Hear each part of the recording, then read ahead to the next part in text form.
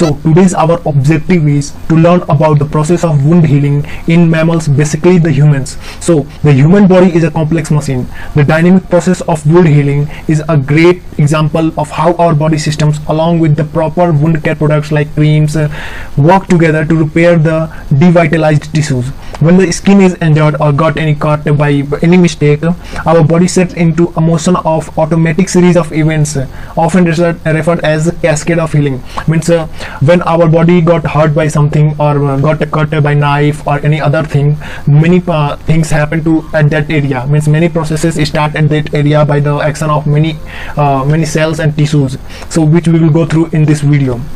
So the process of uh, wound, uh, wound healing involves four processes. First is hemostasis phase and second is defensive or inflammatory phase. Third is proliferative phase and fourth is the maturation phase. So first we will discuss about the hemostasis phase. It is the first stage of healing which uh, started just after you know, the uh, cut has been got on your hand or any other part of the body. Uh, its main objective is to stop the bleeding which happening which is happening after being, getting the cut or by hurt which has been got on your body part during this phase the emergency repair system activates and uh, the after the activation of the blood clotting system the platelets which are basically responsible for the clotting of blood uh, come in contact with the collagens uh, means collagens are basically the primary structural components of the connective tissues and the skins. So during the process of clotting the fibrinogens in the presence of the enzyme thrombin forms the fibrins which later on forms the clot this clot is nothing but the coagulum which uh, which is uh, generally black in color which you have ever seen after uh, you have uh, gotten cut and uh, ha have seen some hard black colors tissue. That is nothing but the thrombin which is formed by the fibrin fibrins.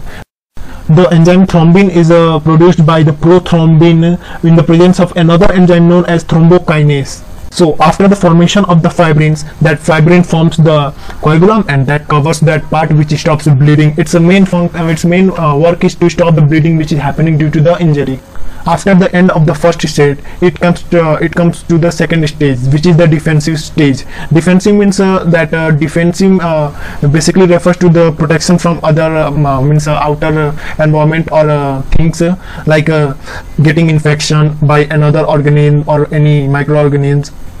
In this in this in this phase our blood cells will act and they will kill the bacteria or enzymes which have got means, which have which have found the open area as it, there is cut on the skin. It is exposed to the outer area. So here the macrophages and some white blood cells will uh, will work and kill them in order to protect us from the infection so in this phase, the neutrophils enter the wound to destroy the bacteria and remove the debris. Debris is nothing but the uh, uh, rashes or skin um, means skin tissues which are extra on that uh, due to the injury and other uh, impurities are there the, uh, which have got by the by the thing which you have got the injury neutrophils will be at their peak amount means they, they will be present and they are at a very uh, great cluster at uh, the after the 24 to 48 hours of the injury. Means after the 48 24 to 48 hours uh, the neutrophil cells will be present in large amount at that place of injury. And after the three days of the injury their number will be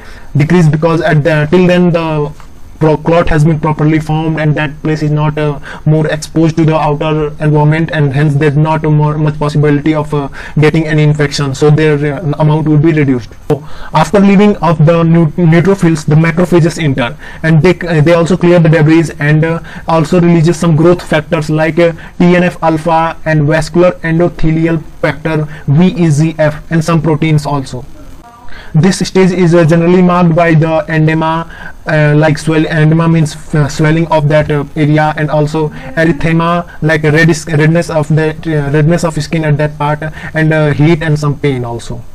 So here is the end of the second phase and now the third phase which is the proliferative phase starts so after the cleaning means uh, at, at, the first and second phase there the cleaning of the uh, cleaning of some debris. So after the cleaning the filling of the wound starts at this stage. This stage involved in the filling of the wound.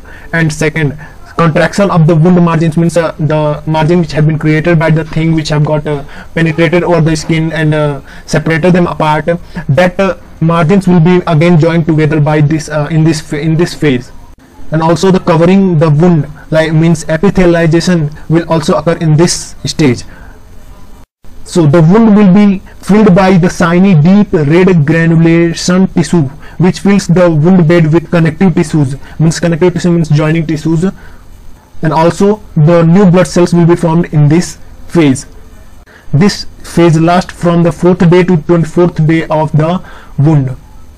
So here comes the last stage which is the maturation stage which uh, occurs uh, which occurs after the 24 uh, 21st to uh, which can last to two years also because it depends upon the um, amount of wound which we have got like bigger wounds last up to two years and smaller wounds will be get healed in early time in this phase uh, nothing much happens but the strengthening of the new tissue occurs uh, when it gets matures and flexible it also becomes flexible. Collagen fi fibers uh, reorganize the tissue remodels and matures and there is an overall increase in the tensile strength of the tissue